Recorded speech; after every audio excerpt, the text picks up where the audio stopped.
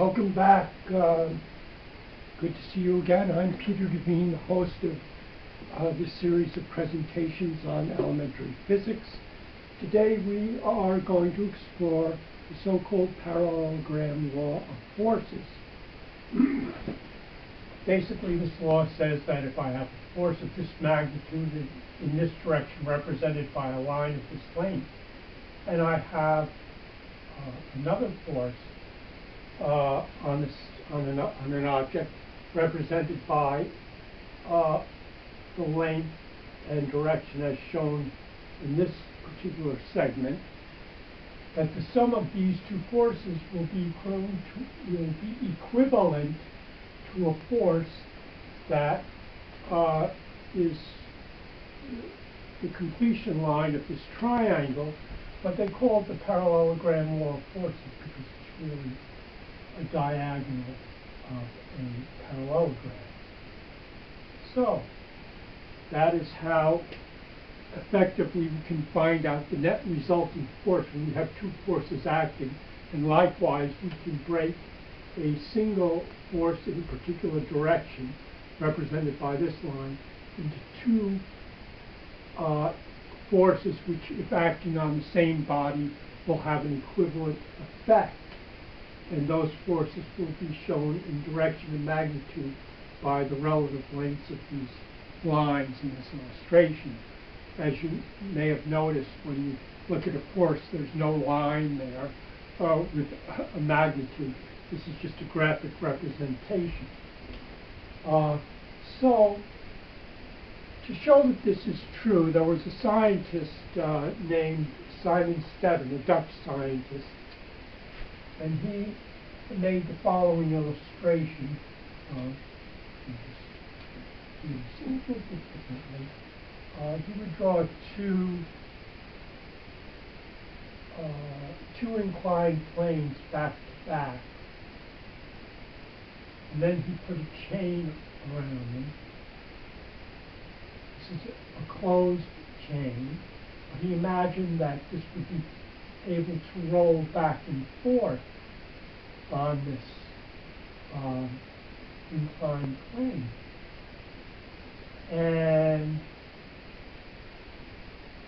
he said that since the chain is, is uniform in terms of its uh, weight per unit length, that there would be no reason for it to go one way or another. and It would just sit there in equilibrium.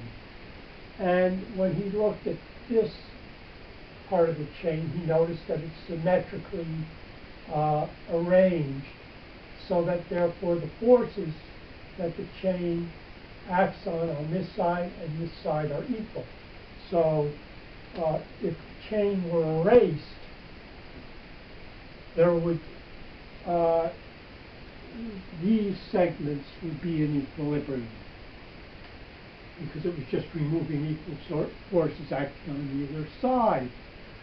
So, uh, if we take Stevinus's idea, they call him Stevinus also because that was the kind of Latin, Latinized uh, name that you might give him. And if we take his idea and turn this into a vertical piece like this, like a regular inclined plane, then once again, these pieces should be in equilibrium. But what is interesting is that now that we have a vertical fall here, this weight is exactly the force that is keeping this other part of the chain from falling down the incline. So, uh, our first chore here is to simply write an equation which will look rather commonsensical, we know that the lengths, uh, the weights of either of these are proportional to their lengths. So if I call this W1, and call this L1, I call this W2, and I call this L2, L2 and L1 being the respective lengths, this is a right triangle here. Uh, I can simply write um, W1 over W2 is equal to L1 over L2. The ratio of these different weights is proportional to the is equal to the ratio of their respective lengths. Now, if I solve for W1, which is actually the, the force holding this one up, I will get W1 is equal to W times L1 over L2, And remember, W1 then is simply the actual force that is keeping this weight from sliding down the inclined plane. Finally then, if I have another drawing of the inclined plane, I just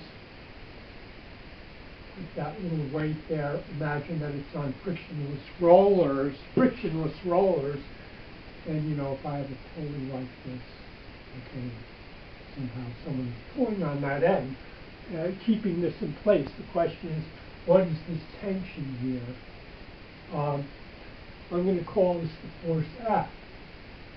Well, we now have a formula for that. Let's call this W. And now we can say that F, which would have been the weight hanging at this end, is simply the weight times L1 over L2. This has to be a right triangle here that we're, we're talking about. So there's our simple formula for finding the tension on an inclined plane uh, that will hold a weight in place.